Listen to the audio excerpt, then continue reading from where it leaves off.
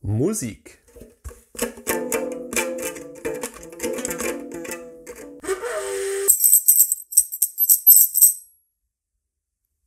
Musik soll ja eigentlich gute Laune machen.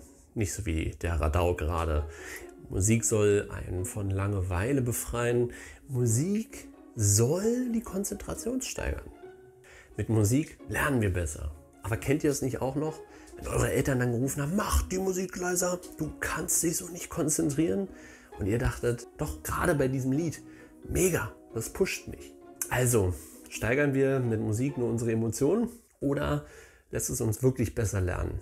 Dieser Frage gehen wir jetzt mal nach.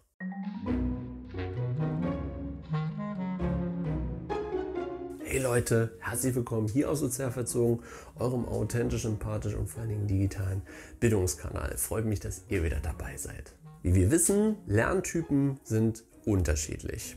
Der eine kann unter sehr lauten Atmosphären lernen und dann gibt es Menschen, die können nur lernen, wenn es absolut ruhig ist.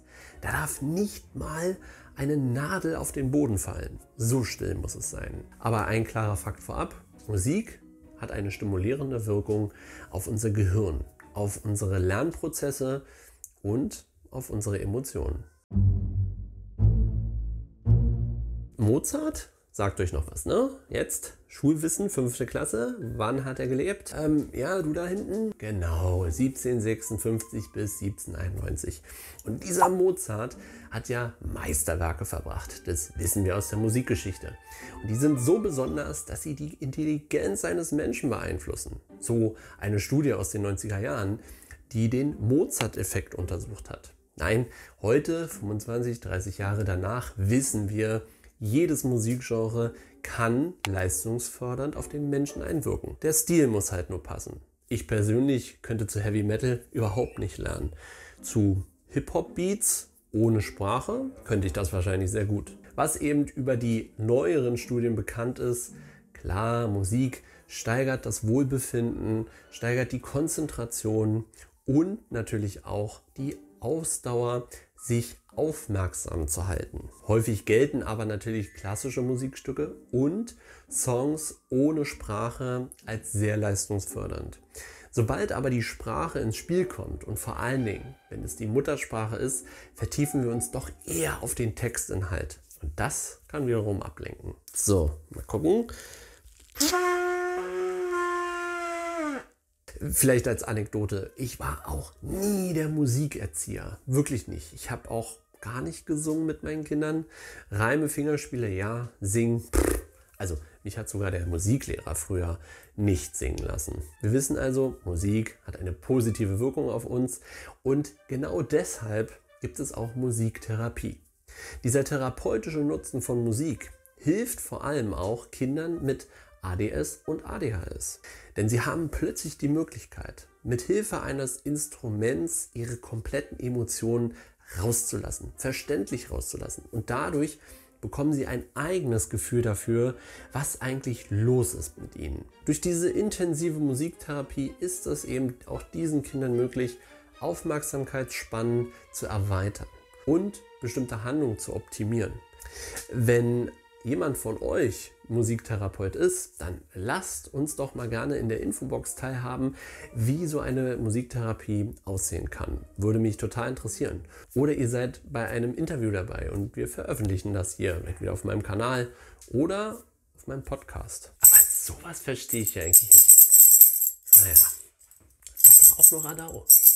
Versuchen wir noch mal zu verstehen, was jetzt in unserem Gehirn passiert, wenn wir Musik hören oder auch Musik machen. Wenn wir Musik hören oder selbst machen, dann produzieren wir Schallwellen. Und diese Schallwellen kommen zuerst ins Innenohr. Von da aus überträgt der Gehörnerv diese Schallwellen an den Hirnstamm. In diesem Hirnstamm angekommen, wird der Schall in verschiedene Areale verteilt. Zuerst natürlich in den Hörkortex. Und von da aus werden weitere Prozesse in Millisekunden angestoßen. Deshalb sind auch viele Areale an dieser Verarbeitung beteiligt.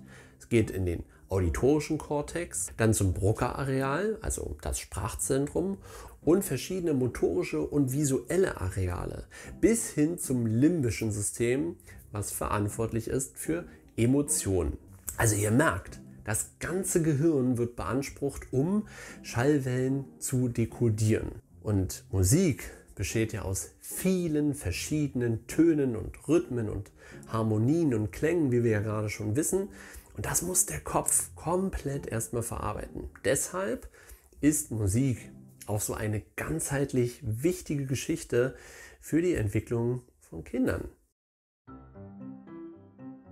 Und genau jetzt kommen wir auch nochmal abschließend zu diesem Thema. Denn es besteht ein Zusammenhang zwischen Musik, Bewegung und Sprache. Schon Karl Orff war sich sicher, dass Klang, Geist und Sprache in enger Verbindung zusammenstehen. Außerdem war ihm ganz klar, dass Kinder auch eine natürliche Verbindung zu Musik und Bewegung haben.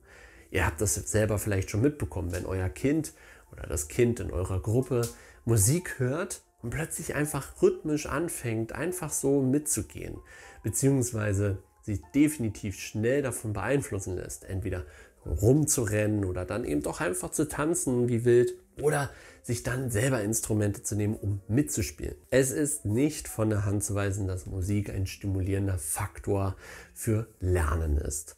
Es hat so viel Einfluss, dass wir eben klar sagen können, hey, wir brauchen Musik für die kindliche Entwicklung, für die Entwicklung bei Jugendlichen und natürlich auch bei uns Erwachsenen. Wir lernen einfach besser, wenn einige musikalische Aspekte mit dabei sind.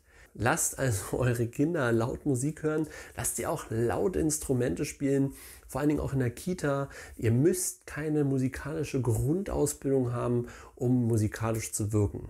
Mich hat das selber häufig geärgert, weil ich dachte, ach Mann, so Gitarre spielen wäre cool, aber so einen richtigen Fable dafür habe ich einfach nicht, beziehungsweise, naja, ich habe mir einfach nicht die Zeit genommen, seien wir ganz ehrlich. Musik ist ein wichtiger, wichtiger Bereich um Lernprozesse nochmal von einer ganz anderen Perspektive in Gang setzen zu können.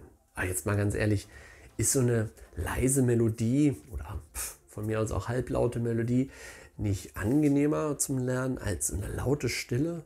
Naja, es ist so, wie es ist. Jeder ist anders.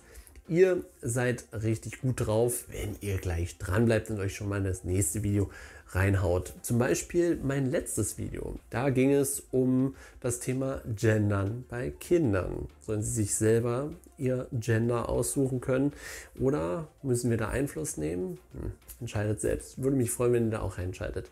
Ansonsten bleibt ihr sozial verzogen bis zum nächsten Video. Ich wünsche euch noch einen schönen Tag. Bis dann. Ciao.